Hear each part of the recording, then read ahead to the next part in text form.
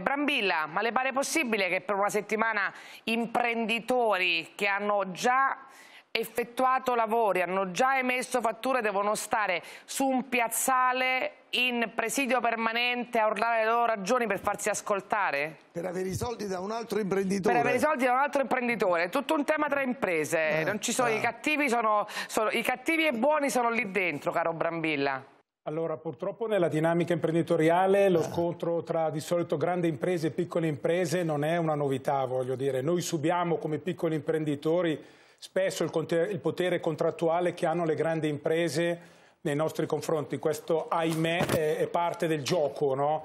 Però nello stesso tempo sono fiducioso che la situazione si risolva e che questi miei colleghi che sono una settimana che sono lì a fare il presidio e mi complimento con loro perché non è un gesto comune per gli imprenditori avere la forza di scendere in piazza e metterci la faccia e quindi sono orgoglioso di loro qui dal nord, lo dico con, non in modo retorico, eh, complimenti, bravi e cerchiamo di, dobbiamo fare in modo tale tutti che questa vicenda si risolva nel modo più logico e sensato possibile. E applaudiamo anche noi in studio.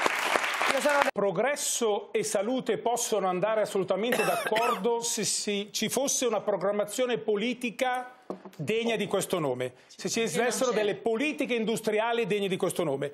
Man essendoci il voto pneumatico da parte della politica italiana appunto dal 2001, basta vedere quel cartello drammatico, no? Perché se nel 2001 fosse arrivato già Industria 4.0 e se a quegli imprenditori, prima ancora dei Riva che era dello Stato l'acciaieria, fosse stato detto guarda, tu investi nel progresso, rendi questo impianto già nel 2001 degno di questo nome, che non inquini più, eccetera, noi oggi non saremmo qua a discutere di queste cose. È che in Italia non si programma niente, non si pianifica niente. Come si risolve il problema, caro Kramaschi? Come fai a dire a un imprenditore vai là lo stesso? Gli devi creare dei vantaggi. No, Vuoi investire momento... Cioè, però non può essere lo scudo si penale. Chiamano fiscali. Non può essere si lo chiamano vantaggi fiscali. O, o continuare Mi a avvelenare permet... la gente. No, fammi finire di parlare. Ascolta, hai parlato 30 Sentiamo volte Santanchè, scusatemi, ho capito benissimo, Brambilla.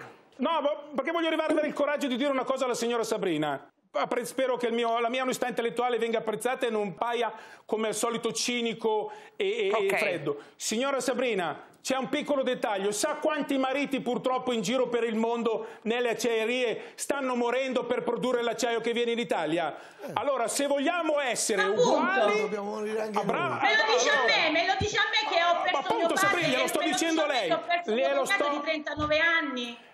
Cioè, Sabrina, lo sto dicendo a lei per dire, attenzione che quando chiudiamo Taranto l'Italia importerà acciaio da tutto il mondo perché non possiamo fermare l'Italia. L'acciaio che viene prodotto all'Ilva serve a tantissime industrie italiane. Noi importeremo acciaio inquinato da tutto il mondo, moriranno tanti altri mariti e noi faremo gli ipocriti perché l'importante è che non sporchiamo casa nostra. Questo non è giusto a livello mondiale mondiale. Se noi guardiamo a livello mondiale il tema, non eh è giusto, allora è magari ce la teniamo noi, ormai ce la teniamo noi perché no, ormai è in Sabrina, appena detto. Sono d'accordo con detto Sabrina, motiviamo l'imprenditore allora, fatemi sentire in modo sano.